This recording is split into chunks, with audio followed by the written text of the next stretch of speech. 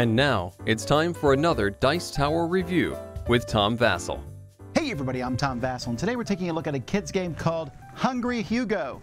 And Hugo's this big monkey here. He's super friendly. Give him a banana, you're fine. Otherwise, he's going to break the decorations that you're putting in your yard. And I have worked hard at putting those decorations in my yard. This is a kids game. Kind of a monkey running around trying to build five decorations before everybody else. Here's how it plays.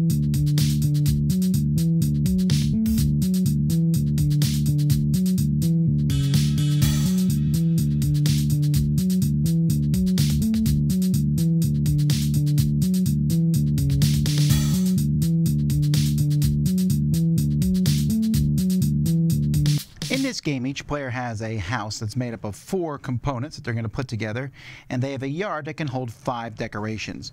You'll notice there's a lot of decorations here in the middle, but they're functionally all the same thing. One player gets Hugo sitting in front of their yard, and everyone's going to get a handful of cards from the deck, three cards. On your turn, it's pretty simple. You're going to play a card, and then you're going to draw back up to three. Now, when you play a card, there are four different cards. There's a banana card that doesn't do anything when you play it on your turn. You just discard it. So nothing happens. Here, you move Hugo. You pick him and you'll put him in front of someone else's yard. You have to move him. So it's possible he might even move to your own yard, but highly unlikely. If you play this card, you get to build a decoration. Pick a decoration and build it. If part of your house is missing, you have to build the, the piece of your house that's missing first. But after that, you can start building decorations because the first person to get to five of them is the winner of the game. But this is the card that you will often play to wake up Hugo. You might even be forced to play it if he's in front of your house. When this happens, you roll the die to see what happens. If you get this, you're lucky he stays asleep. If you get this, he comes to your house. So if I play this card and it happens, if I'm playing it on you, he'll leave your house and come over to mine. Doesn't do anything, just moves. And if you do this, he destroys a decoration. If there's no decoration to destroy, then he'll destroy a piece of your house, which then you'll have to rebuild. That's the game. You just keep playing through, but you said, what about those banana cards? Aha.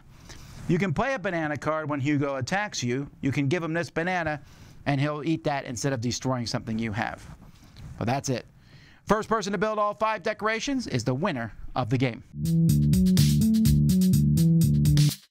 Components for the game are fine. We have these different, uh, you know, the houses you build together. They're made up of five pieces, and they all look different. We have the brick one here. We have the green wood one here with the shingle roof and the blue one. And then you have all these different things. It doesn't really matter what they are, but you'll find that some kids gravitate. I want to put trees. I want to put the garden gnomes in my thing and then these spots to put them. The cards are not great quality. They're okay quality. I wish they were a little bit better, but for the most part, the components are good.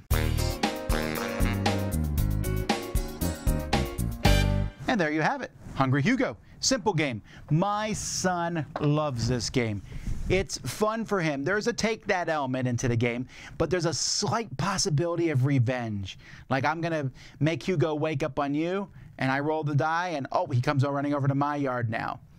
And I mean, really, there's nothing more to it than that. Deciding where to send Hugo, deciding whether to keep a banana card, deciding when to wake Hugo, or where to move him. But it's really simple. This is a little kid's game that older kids and adults could play with it and have a lot of fun. But it's a game meant for the smaller crowd. It says six plus on here. I would probably put like six to nine, or maybe even five to nine. There's a little bit of a, oh, he destroyed your house, and maybe a little kid might be upset over that, but I think barely. The theme is amusing. The artwork's amusing. It's very fun to build the things. It's fun to build the house at the beginning for kids and then add stuff. There's not a lot of depth here, but it works really well. There's just that entertainment back and forth. So, like I said, not for everybody, but for kids, I think Hungry Hugo is worth looking into. The younger set, younger elementary, check it out. I'm Tom Vasel. We'll see you next time. Dice Tower Judgment, kid approved.